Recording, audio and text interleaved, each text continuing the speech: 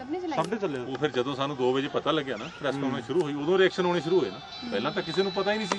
ਤੁਸੀਂ ਵੇਖੋ 77 ਬੰਦੇ ਲੜੇ ਨੇ ਪਾਰਟੀ ਦੇ ਕਿਸੇ ਨੂੰ ਵੀ ਨਹੀਂ ਸੀ ਪਤਾ। ਕਿਸੇ ਇੱਕ ਬੰਦੇ ਨੂੰ ਨਹੀਂ ਪਤਾ ਕਿ ਇਹੀ ਦੋ ਜਣੇ ਕੋਰ ਕਮੇਟੀ ਦੇ ਮੈਂਬਰ ਸਾਡੇ ਮੀਡੀਆ ਸੈੱਲ ਦੇ ਵਾਈਸ ਪ੍ਰੈਜ਼ੀਡੈਂਟ ਵੀ ਨੇ ਕਰਨਲ ਗਿੱਲ। ਕਰਨਲ ਹਾਂ ਉਹ ਵੀ ਨਾਰਾਜ਼। ਤੇ ਜਿਨ੍ਹਾਂ ਮਤਲਬ ਚਲੋ ਇਹ ਵੈਸੇ ਤਾਂ ਉਦਨ ਪ੍ਰਧਾਨ ਜੀ ਕਹਿ ਗਏ ਵੀ ਜ਼ਮੀਰ ਦੀ ਆਵਾਜ਼ ਨਾਲ। ਠੀਕ ਹੈ ਜੀ? ਪਰ ਅੱਜ ਜਿਸ ਪਾਰਟੀ ਦੇ ਹੱਕ ਚੋਂ ਇੱਕ ਪਾਰਟੀ ਦੇ ਹੱਕ ਦੇ ਕਹਿ ਕੇ ਗਏ ਆ ਮਤਲਬ ਅਹ, ਇਹਦੇ ਵਿੱਚ ਆਪਾਂ ਤਾਂ ਇੱਕੋ ਗੱਲ ਕਹਿ ਸਕਦੇ ਹਾਂ ਜੀ ਵੀ ਉਹਨਾਂ ਦਾ ਨਿੱਜੀ ਫੈਸਲਾ ਹੋ ਸਕਦਾ ਇਹਦੇ ਨਾਲ ਪਾਰਟੀ ਦਾ ਕੋਈ ਸਰੋਕਾਰ ਨਹੀਂ। ਪਾਰਟੀ ਦਾ ਤਾਂ ਅੱਜ ਵੀ ਉਹੀ ਫੈਸਲਾ ਹੈ ਵੀ ਜੋ ਮਿਲਦੀ ਨਹੀਂ ਹੈ ਲੜਾਈ ਹੋ ਗਿਆ ਸਰ। ਨਹੀਂ ਕੋਈ ਧੜਾ ਨਹੀਂ ਜੀ। ਉਹਦੇ ਵਿੱਚ ਉਹਨਾਂ ਦੋ ਬੰਦਿਆਂ ਦੇ ਫੈਸਲੇ ਨੂੰ ਆਪਾਂ ਧੜਾ ਨਹੀਂ ਕਹਿ ਸਕਦੇ। ਉਹ ਓਪਨਲੀ ਮੀਡੀਆ 'ਚ ਬੋਲ ਰਹੇ ਨੇ ਤੁਸੀਂ ਸ਼ੋਅ ਕਰ ਰਹੇ ਹੋ ਕਿ ਕੋਈ ਸਾਨੂੰ ਤਾਂ ਪਤਾ ਹੀ ਨਹੀਂ 2 ਵਜੇ ਲੱਗਦਾ ਤੁਸੀਂ ਦੇਖੋ। ਹੁਣ ਤੁਸੀਂ ਵੀ ਆਏ ਹੋ ਨਾ ਸਾਡੇ ਵਾਸਤੇ ਤਾਂ ਦੋ ਹੀ ਥੜੇ ਹੋ। ਸਾਨੂੰ ਤਾਂ 2 ਵਜੇ ਪਤਾ ਲੱਗਦਾ। ਅਸੀਂ ਫਿਰ ਗੱਲ ਕੀਤੀ।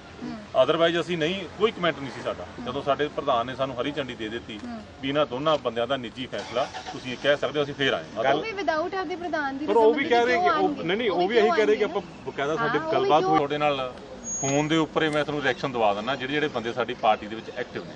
ਤੁਸੀਂ ਛੋਟੇਪੁਰ ਸਾਹਿਬ ਨਾਲ ਗੱਲ ਕਰਾਓ ਛੋਟੇ ਬੋਸ ਨਾਲ ਗੱਲ ਕਰਾ ਲਾਂਗੇ ਉਹਨਾਂ ਨਹੀਂ ਉਹਨਾਂ ਨੇ ਕੋਈ ਰਿਐਕਸ਼ਨ ਨਹੀਂ ਦੇਣਾ ਇਸ ਮਾਮਲੇ ਕਹਿੰਦਾ ਮੈਂ ਸਵੇਰੇ ਸਾਰਾ ਰਿਐਕਸ਼ਨ ਇੱਕ ਦਊਂਗਾ। ਗੱਲ ਇੱਕ ਗੱਲ ਦੱਸੋ। ਉਹ ਜਿਹੜਾ ਐਕਸ਼ਨ ਕਰਨ ਜਾ ਰਹੇ ਹਾਂ ਉਹ ਸਵੇਰੇ ਹੋ ਜਾਏਗਾ। ਤੁਸੀਂ ਇਹ ਦੱਸੋ ਜੀ ਪਾਰਟੀ ਦੇ ਪ੍ਰਧਾਨ ਬਕਾਇਦਾ ਤੌਰ ਤੇ ਪਰਸੋਂ ਪ੍ਰੈਸ ਕਾਨਫਰੰਸ ਕਰ ਗਏ। ਇਹਨਾਂ ਦੇ ਇਹਨਾਂ ਦੇ ਸ਼ਬਦਾਂ ਨੂੰ ਛੋਟੇਪੁਰ ਸਾਹਿਬ ਕਿਉਂ ਕੱਟਣਗੇ? ਇਹਨਾਂ ਦੀ ਤਾਂ ਕੋਈ ਮਤਲਬ ਕੋਈ